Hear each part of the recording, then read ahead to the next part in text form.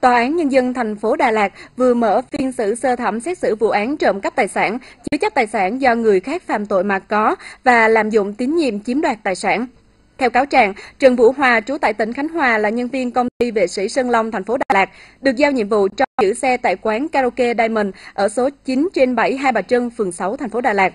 Khoảng 19 giờ ngày 22 tháng 10 năm 2014, lúc đang trong giữ xe, Hòa đã lấy trộm chiếc xe máy hiệu Yamaha Cius trong bãi giữ xe của quán rồi chạy về đường Nguyễn Công Trứ, phường 8, thành phố Đà Lạt, nhờ Nguyễn Văn Thanh, trú tại tỉnh Khánh Hòa cất giấu. Thanh đã đưa xe đến phòng trọ của Đào Anh Khoa, trú tại huyện Di Linh, tạm trú trên đường Nguyễn Công Trứ, nhờ Khoa cất giấu.